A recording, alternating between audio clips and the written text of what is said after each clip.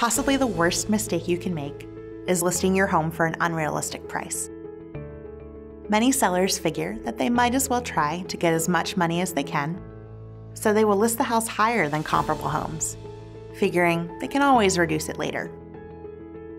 But today's buyers are savvier in their research efforts than they were in the past.